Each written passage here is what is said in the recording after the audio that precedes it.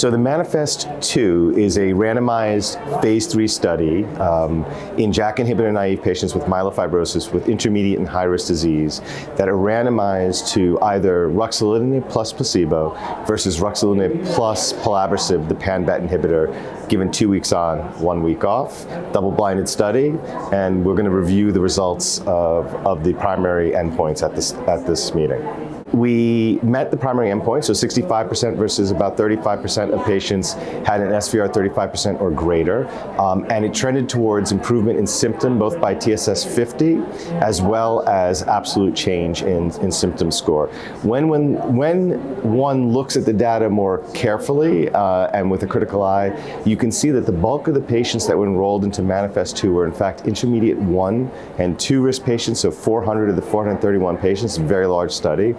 When you look at the primary and secondary endpoint in this large cohort of patients in the trial, it's positive study, positive on both endpoints. We also saw a really well-balanced toxicity profile between the two arms. We didn't see significant added toxicity by adding pelabresib, and we even saw a trend towards improvement in hemoglobin levels as well. So there seems to be an all-around benefit um, that uh, was seen in the phase two study um, and supported by preclinical studies of the combination of a pan-BET inhibitor like pelabresib with ruxolitinib in JAK inhibitor naive patients.